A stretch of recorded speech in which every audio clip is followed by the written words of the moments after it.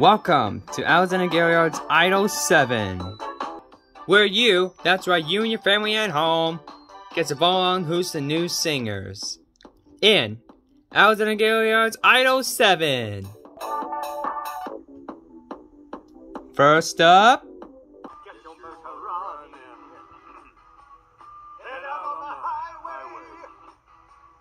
Looking for adventure.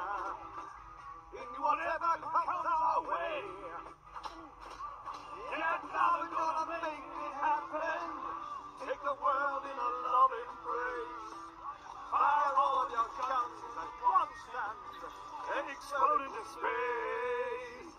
Nice, right. That feels good, yeah. Heavy metal thunder, race with the wind, and the feeling that I'm under.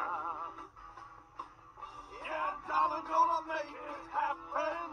Take the world in a loving embrace. Fire all of your guns at once and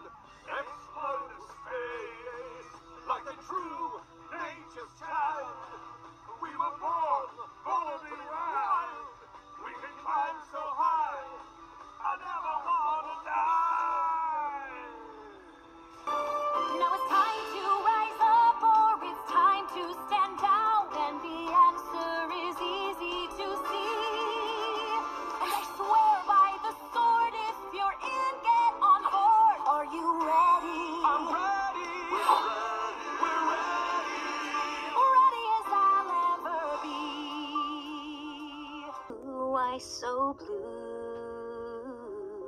So many shades of sorrow got mixed into my hue. And each new moment just astounds me. So much I wanna do. I finally feel my color shining through. When you carve it, I am art, and art is me. Ask your mama or your to tell you about the uh, schism between minimalism and cubism.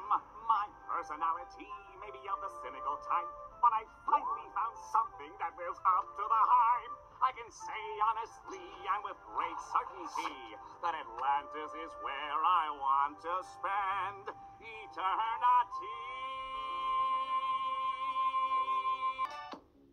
and now, who will be named?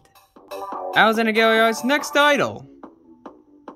Dr. Cockroach and Missing Link, Cassandra, Lapis Lazuli, or Squidward Tentacles.